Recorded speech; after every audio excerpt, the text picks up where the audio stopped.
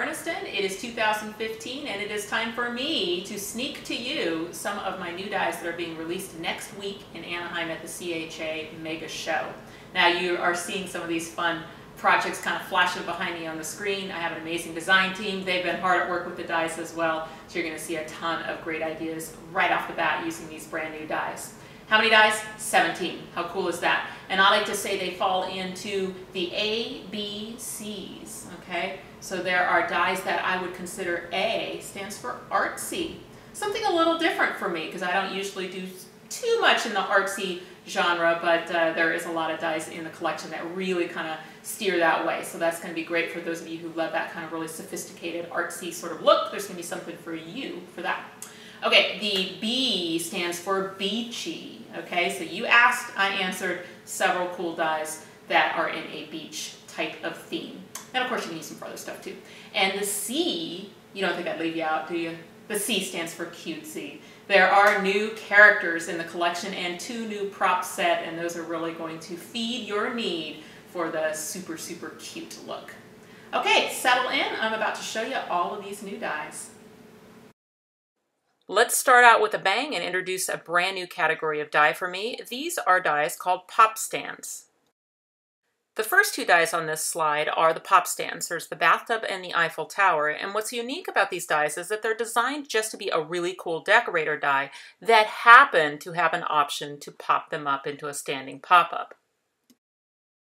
Let me demonstrate with the bathtub die. So you can see all of these cool accessories that just come in the set. It's a rubber ducky and various bubbles and a faucet and some claw feet. And all of those combine to make a really cool bathtub. And then what you've also got is this optional pop stand die. Now if you want to make a 3D pop-up card, then you're going to have to cut a second bathtub and it's optional, but I like to cut a second set of claw feet as well. If you're familiar with Pop-It-Ups at all, you know about the alignment nubs, and the pop stands have them. This allows you to put that pop stand into any size card anywhere along the fold, and then you just roll it through, and what it does is it cuts those little tabs right into the card at the right spot for you to be able to animate the tub. Okay, I'll start by putting some adhesive on all four of those tabs. And you can see the adhesive is on top of the tabs, and I just used some little mini glue dots. So my decorator tub, that's the one that's all decorated up real nicely. That's going to go face down in front of a couple of those tabs, and then I'm just going to fold them over and stick them to the back of those bathtub's feet. And I did design the pop stand so that the tabs would match the shape of whatever the item is. So in this case, the bathtub, and you can see how they are completely hidden once you get them up and onto the feet of the tub. Now I'm going to do the same thing with the other tub, and that's just the plain white one that I'm going to use just for its structural ability and I'm just going to put the tabs on that one as well. Now this next step is optional, but I'm going to show you why I like to do it. I always cut a second set of the claw feet and put them actually on the inside of that structural tub because that's the side you're actually going to see a little bit of when the pop-up is open. You're not really going to see the back side of it. So while you could also cut a set for the back, this is really the spot where you're going to get the most bang for it. So now those little claw feet are going to cover your tab completely and you don't see it at all. And then the, what you do to make this into a pop-up is you just use some little glue dots, some adhesive out on the ends, attach the two tubs to each other. Now you're going to see what I mean about seeing just a little hint of those little extra claw feet down in there behind the tub. As for the front of the card, you just need a little piece of paper or cardstock to cover those little tab holes. Or you could maybe get creative with them, put some ribbon through them, do something fun. The Eiffel Tower is going to work exactly the same way. It comes with its own pop stand so that it is designed to fit the legs of the Eiffel Tower. Raquel Mason used Whiskers the cat with the bathtub for this fun card. Here's one that Kelly Booth made where she glittered every bit of that tub and Rocky the Crab, one of the new characters. And Karen Aiken used the tub on one of the other pop-up dies, the Lorna label, and used Buster the dog. I love how Karen also used the Paris edges to make her bath mat, the Paris edges were designed to go nicely with the Eiffel Tower, like you see them used here on Kelly Booth's card. And Frances Byrne also used the Paris edges with her Eiffel Tower card for the Ooh La La Paris card. And then here's the Paris edges used by Donna Wright just on the edges of a heart pivot card. There are new additions to the accordion album and frame edges category. There is a new rectangle accordion, it's a portrait style album, and then there is the new star accordion, which is a square album. There is a new set of Katie Flourish frame edges that'll fit the rectangle accordion, and it's called the Katie Flourish frame edges because it also fits the Katie label accordion. And that means that the two existing Katie frame edges, the stars and the holly, will also fit the rectangle. Aren't these colors fantastic in this Paris-themed rectangle accordion by Kelly Booth? And here's a sample of how you can use some of the beach-inspired dies in the collection with the rectangle accordion like Raquel Mason did. Frances Byrne followed my video tutorial for how to turn portrait albums into the landscape orientation and made this wonderful rectangle accordion with the bathtub. The new frame edges that fit the Star album are called the Star Fancy frame edges because they also fit the Fancy accordion, which means the Fancy frame edges fit the Star. Frances Byrne illustrates perfectly the cool barn star that's included with the star accordion. It's scored to fold up into a 3D star, and it also has that extra triangle to make it two-tone. The star accordion is going to work so well with all the beach-themed items as well because you can make starfish. The next category of die is the pivot cards. There are five existing pivot cards, and now there is a new one to add to that collection. It's number 973, the Tags pivot card. I love that I was able to get so many decorator pieces into this die set. All these different tags, and there's a paper clip and a little fleur-de-lis, and all these tag reinforcers. It has no theme, so you can go kind of artsy like I did on the packaging, or take a look at this wonderful Easter card by Kelly Booth where she styled Chili the Penguin as a chick. Or maybe you're looking for soft and pretty, like this Valentine's card by Karen Aiken, where she also incorporated the Paris edges and the heart pivot card decorator dies. There is a new die in the pull card collection, so joining the spiral circle pull card is the new rectangle pull card.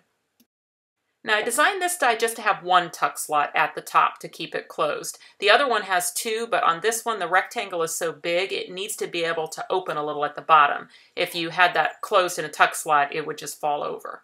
There is an optional pop-up element, just like with the other card. This time it's a spinner die. So I'm going to show you how to use this die, and you can see all the cool action that you get by adding it inside the card. And it's just a single piece. It's so easy to do. Just like with the spiral circle pull card die, you will use the alignment nubs that come on the rectangle pull card to be able to line it up over the center fold of the card. And then you just run that through the machine to do the die cutting.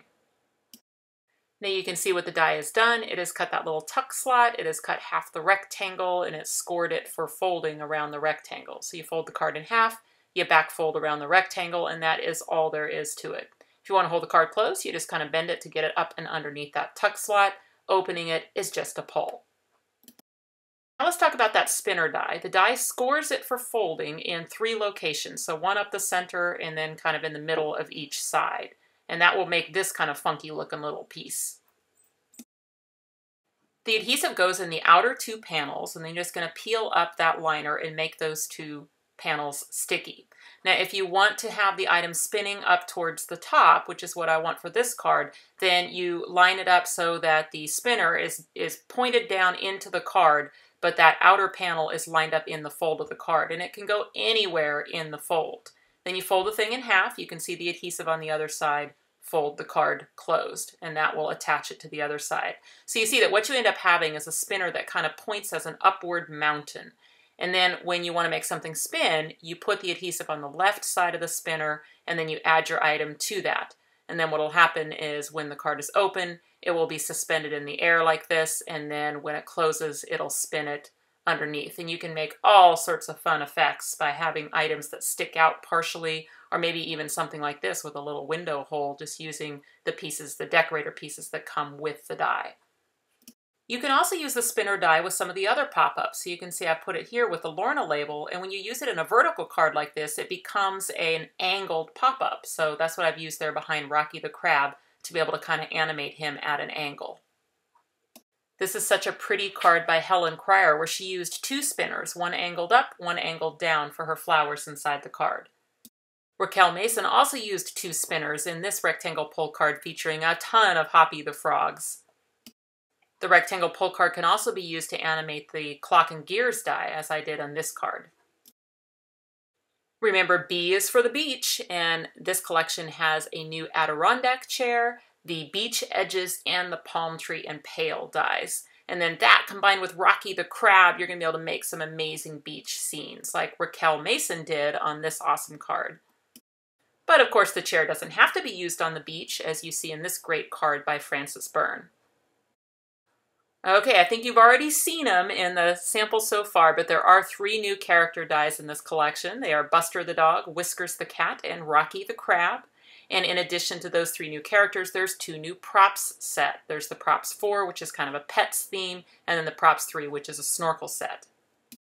Let's see some samples. Look at this rectangle pull card by Kelly Booth using Rocky on a lower spinner, and you can see the snorkel set that he's wearing. Helen Cryer made this great fancy accordion using Whiskers the cat, and I like how she turned Happy Birthday into Happy Purr Day. Raquel Mason invited Whiskers and Buster to join Poppy at her garden bench party, and I just love all of the props and things she used on this card. Kelly Booth did a really cool lace technique with double-sided adhesive and glitter, and then she cut Whiskers the cat out of the lace.